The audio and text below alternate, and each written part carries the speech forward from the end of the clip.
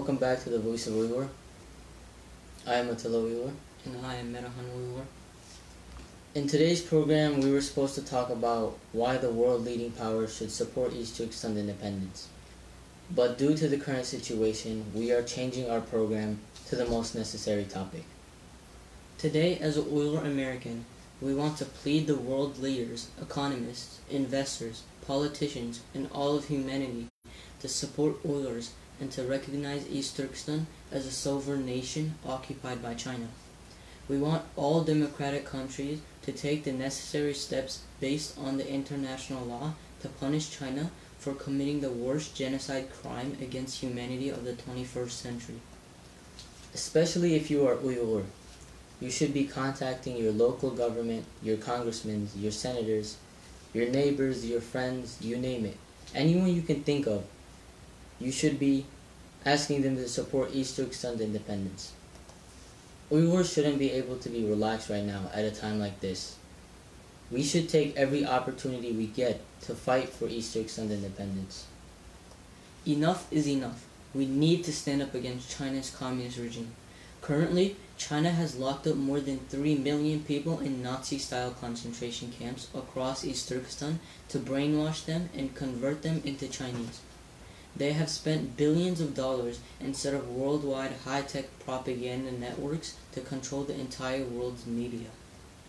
It is a well-known fact that the communist government has been implementing vicious methods to torture the people of East Turkestan by falsely accusing them as terrorists or religious extremists.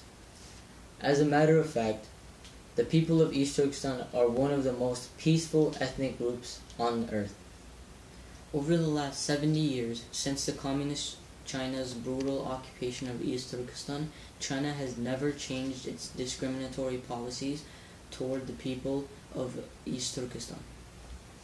This has resulted in China exploiting not only East Turkestan's natural resources, but also have committed execution, brutal torture, gang rapes, mass imprisonment without judicial trial, high-tech surveillance, orphanage conversion facilities, forced sterilization, persecution of intellectuals, live human harvesting, human organ harvesting, and mass-scale internment camps to ordinary citizens of East Turkestan. China has been systematically destroying the culture, language, history, religion, architecture, literature, and altering the minds of East Turkestan. It has been continuously violating the Universal Declarations of Human Rights, UN treaties, and above all, the UN Genocide Convention, ratified on December 9, 1948, that was signed by 150 nations. Since 2014, the Chinese government, led by President Xi Jinping, openly ordered its Communist Party members to systematically destroy and eradicate any dissident elements by labeling them as religious extremists, separatists, and terrorists. The CCP openly challenged the United Nations by ignoring all legitimate demands from the international community to shut down the concentration camps, respect basic human rights of East Turkestan people, and provide a necessary communication channel for international investigators to monitor the grave human rights violation faced by the people of East Turkestan. As you might know by now, tens of millions of people in East Turkestan live under China's tyrannical regime without any voice in the international community. Millions of them are suffering in concentration camps while their children are being incarcerated in orphanage schools. Hundreds of thousands of women become hostages of male Chinese officials, and some of them are even forced to marry Chinese. Forced sterilization and abortion are widespread all across, all across East Turkestan.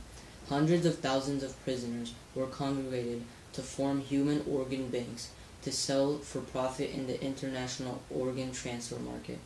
Muslims, Christians, and any other religions are deprived of rights to pray and follow religious doctrine.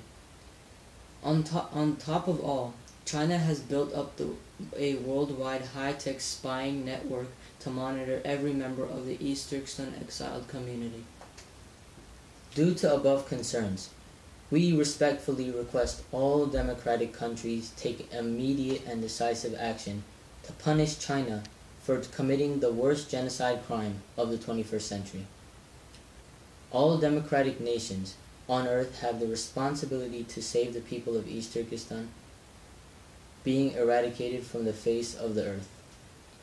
The people of East Turkestan have suffered more than enough for the civilized world to stand by and watch. All people of East Turkestan want to restore the independence of East Turkestan. The world can no longer keep silent on a legitimate demand for freedom. Otherwise, the whole world would be eventually ruled by the most vicious and bloodthirsty China's Communist Party. The biggest blow to China would be the world leading powers openly recognizing East Turkestan as a nation occupied by China. People of East Turkestan are in desperate need of your help. The United States of America and all other democratic countries must take decisive action to punish China's brutal fascist regime so the world doesn't re-experience another Nazi regime. Remember, East Turkestan is like a wall blocking China's expansion to the world. If East Turkestan does not become independent, not only will China's neighboring countries be in danger, but the world will be in danger. Some media and news channels need to stop calling East Turkestan as Xinjiang, because when you call it Xinjiang, you are using Chinese propaganda and you are not helping East Turkestan, you are helping China. Why can Steve Bannon call the East Turkestan, but other individuals and media channels can't? Unfortunately, there are a handful of Uyghurs that call themselves Uyghur activists and they don't even correct a news anchor when they use the term Xinjiang. How do you just stand there while someone is calling East Turkestan as Xinjiang? Being held. Your sister and your aunt, you say, were abducted. Um, you, you, you fear that they could be held in one of these detention camps in Xinjiang. China calls them vocational learning centers, re-education centers. Uh, from what you've heard, how would you describe them? Well, unfortunately, that's my fear, probably being held in one of those modern day concentration camps. Are calling, the Chinese government is calling, they are vocational training centers. But my sister is a medical doctor. She doesn't need any vocational training. She doesn't do anything to correct what the anchor says. Even when news anchors ask them if Uyghurs want independence, these Uyghurs answer no without even thinking about who they are representing. And do the Uyghurs want independence for Xinjiang? The Uyghur people's priority uh, or major concern right now is to how to live like a human being, whether in China or outside of China. So you're not striving for independence? That's what the Chinese claim that the Uyghurs are uh, fighting for. But the most pressing issue at the moment is the survival, the existential threat, existential threat that the Chinese government posing against the Uyghur people. But Uyghur people historically have been demanding and asking for political autonomy, social freedom, and, and the freedom to live with dignity for many years. Yeah, no, Turkal, thank you. Hiya. And do the These kinds of Uyghurs will never represent the Uyghur nation. These kinds of Uyghurs are okay with living with China because their mentality is already integrated with Chinese. Since they have this mentality, they don't care if you call it East Turkestan or Xinjiang. If you look at some of these Uyghurs' family members or ancestors, they used to work for China's government, and maybe some of these Uyghurs still work for the Chinese government today.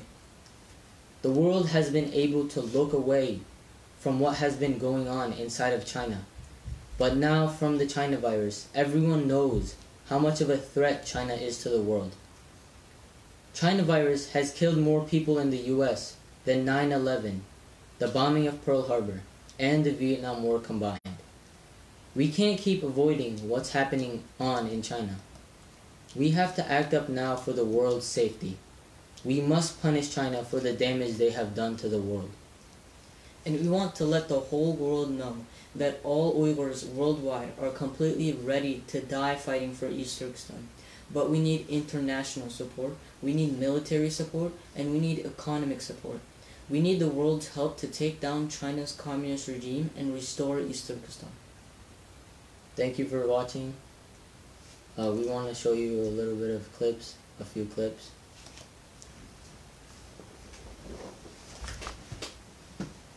I just think this is a crisis of historic proportion. They're going to look back this in 100 years from now about how everybody behaved. It is time to financial world, we have to force the business world, we have to force the media world, we have to force the political world. They must be forced to look at the CCP for exactly what it is. For too many years, they've been able to look away from, about organ harvesting. They've been able to look away what happened to the Tibetan Buddhists and the Dalai Lama. They've been able to look away what happened in East Turkestan to the Uyghurs. They've been able to look away at the suppression of the underground Christian church. They've been able to look away to what's happened to the Falun Gong. They've been able to look away and can make it